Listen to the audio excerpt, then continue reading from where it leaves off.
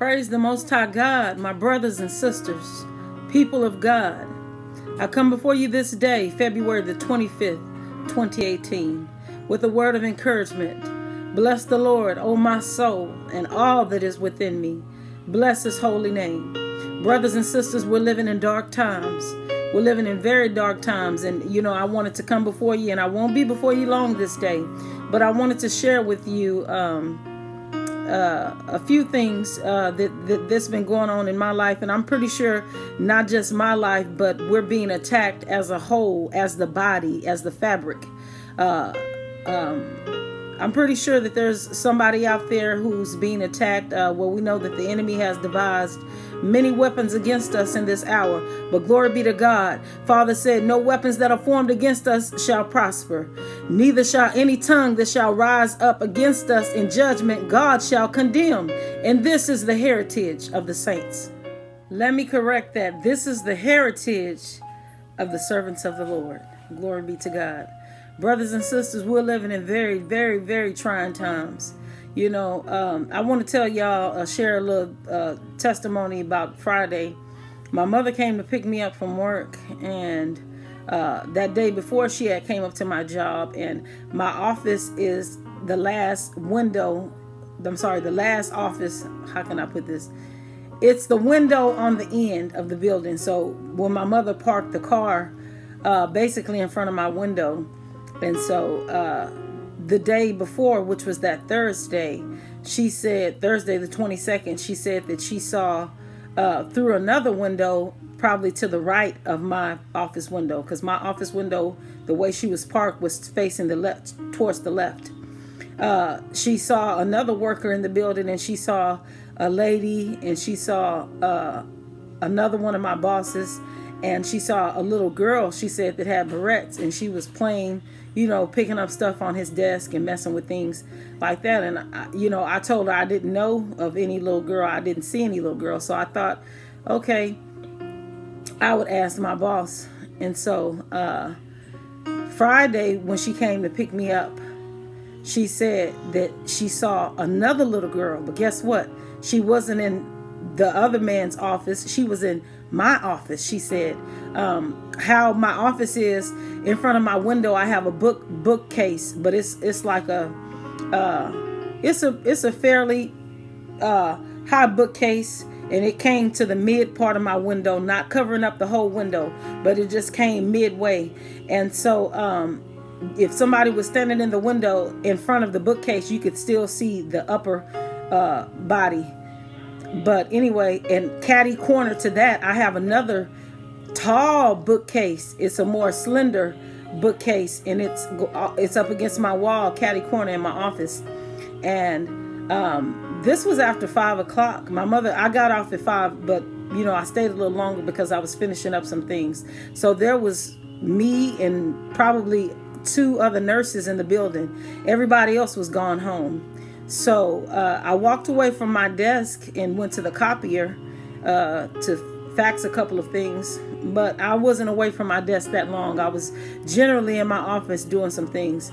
But anyway, to make a long story short, she she said that she saw a little colored girl. I don't want to say colored, forgive me. She saw a African American girl. Uh, looked like she said about six or seven years old and but her hair was pulled up in a ponytail that she was messing with my um uh bookcase. She was getting some things off of my bookcase moving things around you know like a normal child would she said.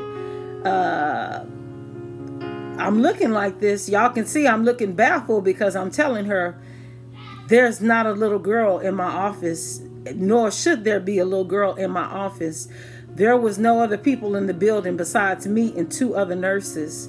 So I told her, I asked her again, Are you sure you saw someone in my office? She said, Yes.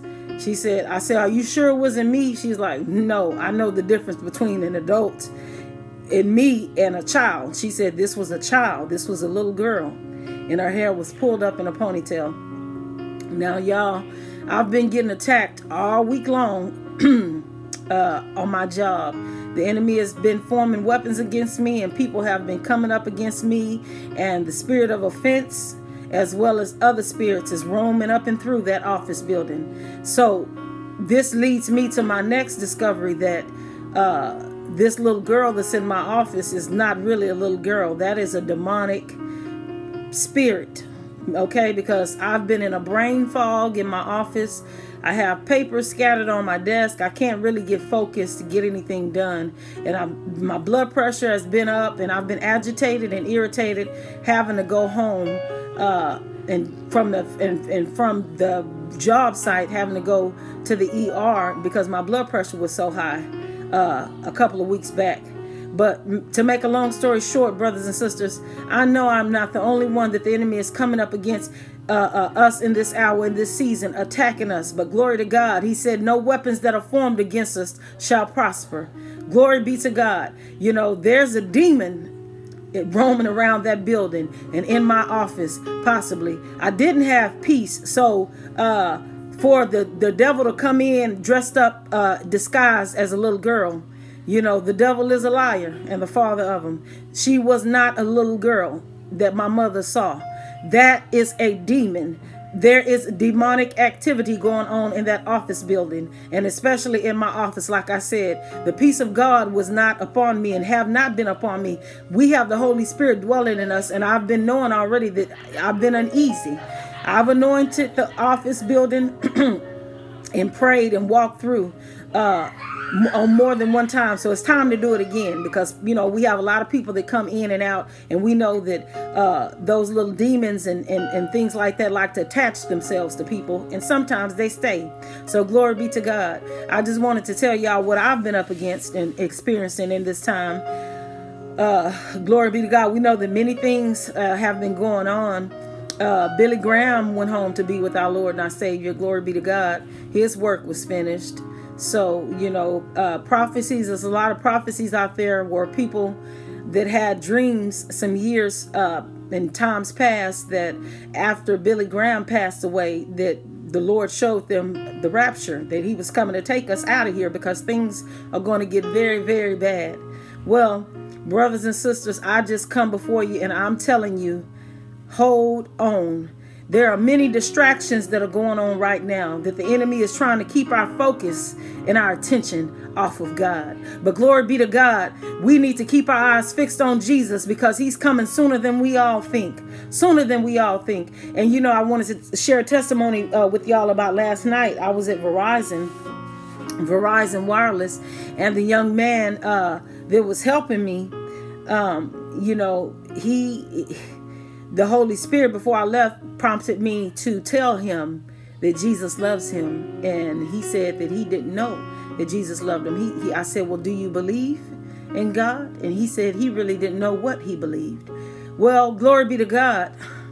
I told him now is the time that Jesus did in fact die and he must accept him and receive him as Lord and Savior because he won't be able to enter into the kingdom and that there is in fact an afterlife. There is an eternity, whether it be heaven or whether it be hell. But there is an eternity, and Jesus calls us to choose.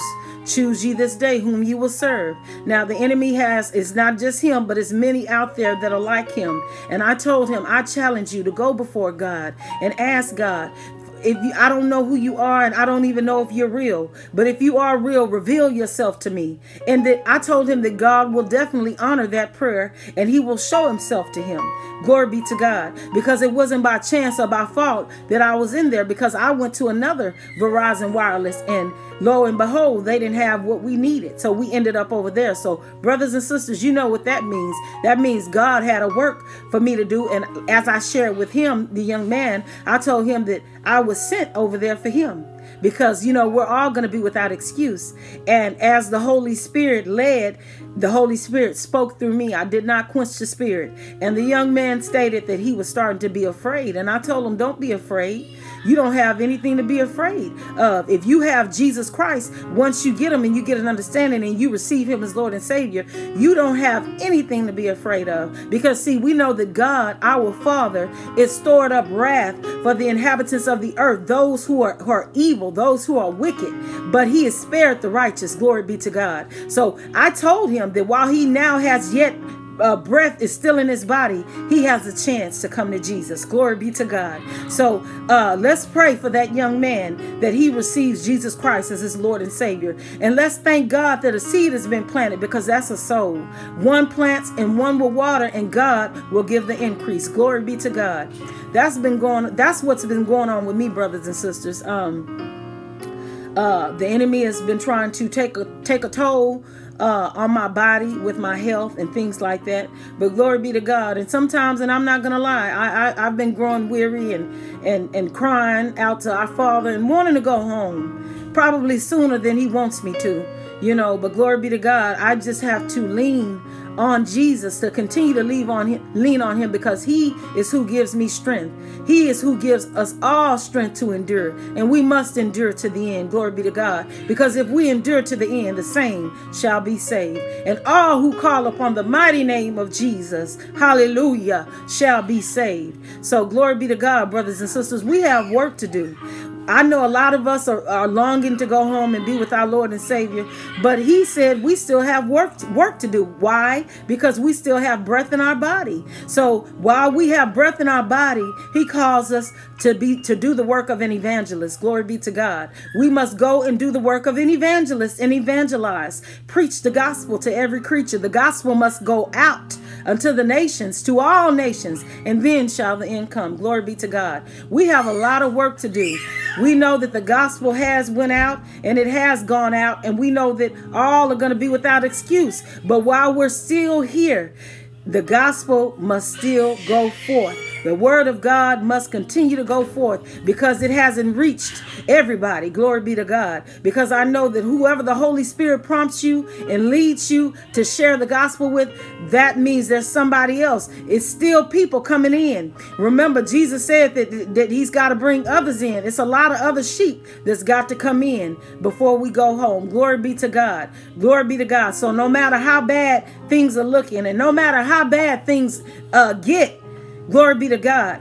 There are souls out there that are in danger of hellfire. Glory be to God. And even worse, the lake of fire. So we have, let's get on our post, brothers and sisters. Let's stop being distracted. Let's stop worrying about what he's doing over here, what she's doing, or, or even uh, asking God to uh, take us home because that's being selfish. Because while you want to go home, there's a soul out there that's lost. There's a soul out there that is dying. There's a soul out there that is going to the lake of fire, the second death. Glory be to God. So let's not be selfish. Let's be selfless and continue to deny ourselves and take up our cross and come after Jesus daily. Glory be to God. And while we're coming after him, let's gather some souls up. Let's gather some souls up because you know, we know we also know that uh Jesus has told us that the harvest is, is, is almost here. He's going to tell them, gather the wheat into my barns. Glory be to God. And that's that's been in my heart and in my spirit as well. The wheat and the tares, the parable about the wheat and the tares. Let's get right, church, and let's go home. But in the meantime, though we're longing to go home, there are souls out there that don't even know about our Lord and Savior Jesus. They may have heard about him, but yet they don't believe. Glory be to God. Hallelujah. So Jesus calls us to walk in newness of life and testify and, and do the things that he would do while he was still here on this earth, walking the earth. Glory be to God. We know that he's here in spirit because he sent us the comforter, the Holy Spirit, but we are to carry out the work. Glory be to God, brothers and sisters. Let's not be slothful. Let's not grow weary. We got work to do. There are souls dying, and we know that sudden destruction is soon to come. So let's hide ourselves in Jesus. And before we get on the ark, glory be to God, let's keep continuing to snatch those souls from, from going into the pit. Glory be to God. So I love you, brothers and sisters. I love you. Please pray my strength in the Lord. Pray my strength in the Lord because I get tired too. So I'll continue to lift all of us up. Glory be to God. And um, soon we'll be going home. Jesus loves you. Tamara does too. Shalom.